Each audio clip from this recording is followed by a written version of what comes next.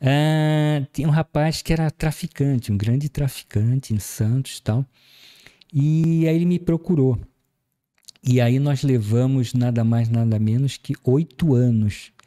E depois desses oito anos, ele realmente modificou radicalmente a vida dele, é, resgatou o emprego que ele tinha em um grande emprego, voltou com a família, as coisas voltaram ao normal. Ele é, hoje ele é avô, ele está bem, graças a Deus.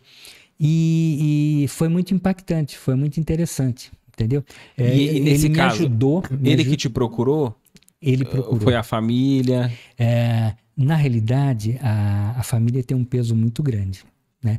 Nesse caso foi a, a esposa. A esposa ela foi muito Inclusive, é, eu.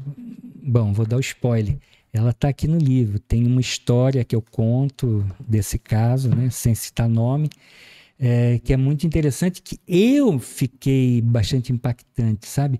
Porque a, a, família fica assim, é, que nem a esposa, né? Imagina a esposa. Aí depois eu internei ele na nossa clínica, nós tínhamos lá a comunidade terapêutica Moravida, lá em Peruíbe. Nós ficamos 10 anos lá em atendimento a esses casos. Os caras ficavam interna internados. Internado. Internados, isso é. Não é, tem mais? Não, não. Nós ficamos lá de 1996 a 2006, mais ou menos. Então, você está aqui pela primeira vez, não se esqueça de se inscrever, ativar a notificação, para que seja sempre notificado, receba o lembrete.